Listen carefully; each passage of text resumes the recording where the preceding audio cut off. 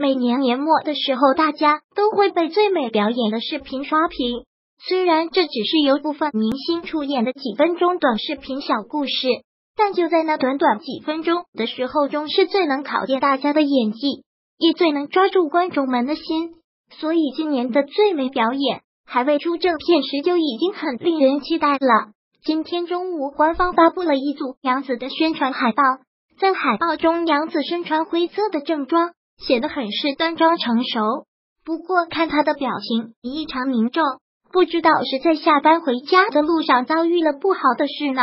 杨子独自一人拿着手机，眼神中充满了悲伤和无助。随后，另一个镜头是杨子在阳台泪流满面的样子。此刻的他任由眼泪从脸庞划过，也不用纸巾擦干净，应该是心情差到了极点吧。虽然从这简单的几张剧照中，我们不知道小猴子是经历了怎样的人生大事。但我们也很是心疼，恨不得跑到他的身边抱抱他。而杨子也再次凭借这场演技成功引起了大家的关注。我们也都知道杨子的演技是没啥问题的，特别是看他的哭戏演那也太传神了。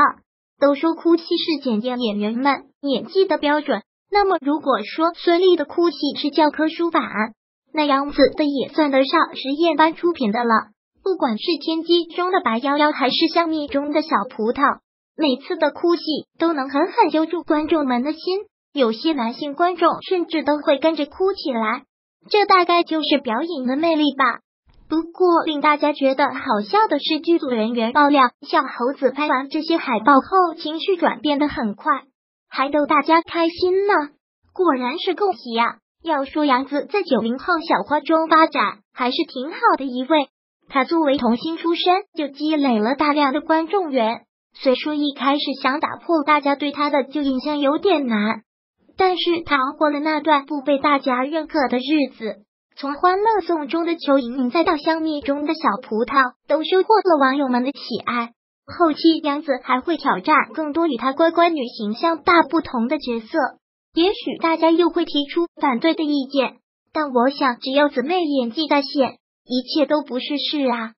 目前已经知道的参加今年最美表演的明星阵容还是很强大的，大概有陈伟霆、白宇、郑恺、黄轩、秦昊、唐文、黄渤、聂远、秦岚这几位我们都很熟悉的大咖。不知道大家会演绎出怎么的故事供大家观赏呢？你们最期待哪位明星的表演？觉得杨紫的哭戏怎样？